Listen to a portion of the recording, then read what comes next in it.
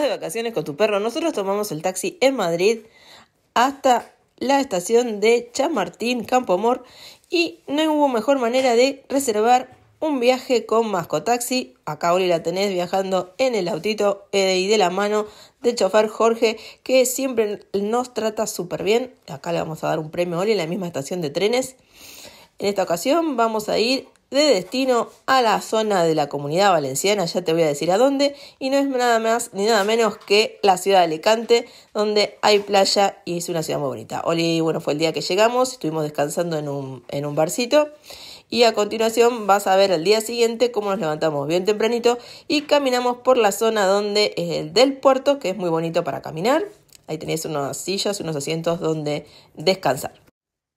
Algo característico de la ciudad de Alicante son las palmeras y la esplanada que la, que la podés ver acá tranquilamente. Oli estuvo olfateando algunas de sus plantitas en el momento del paseo. Llegaba a tocar la comida y una opción excelente son las latas barf cocinadas a vapor de Wild Balance. En el caso de Oli, elijo siempre la de salmón porque el pacado y por sus alergias es lo mejor.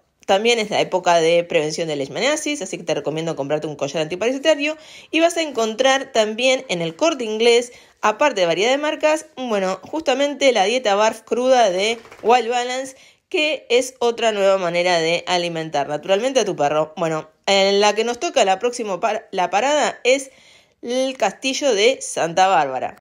La única pega de esta excursión es que en el ascensor no aceptan perros, pero como no hacía tanto calor, ah, fuimos en subidita y mi hermano decidió levantarla por un tramoli porque estaba muy cansada.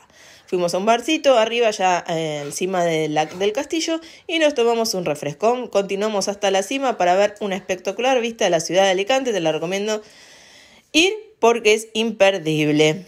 Bueno, continuamos en el día siguiente para ver si podíamos visitar la playa, pero de aquí a otra pega en la ciudad de Alicante que no hay muchas playas caninas y son las más alejadas y no las más bonitas. Así que bueno, continuamos nuestro paseo de caminata, que estaba fresquito, no estaba para meterse al mar, pero a Oli le encantó el paseo y sacamos unas vistas muy bonitas de la ciudad. Bueno, ya cansadas y breve en el regreso, decidimos sentarnos a mirar otros amidogs como paseaban cerquita de la playa y a tomar un poquito de vitamina D bajo el sol. Bueno, te recomiendo tres mil veces que vayas a Alicante con tu perro, lo vas a pasar genial.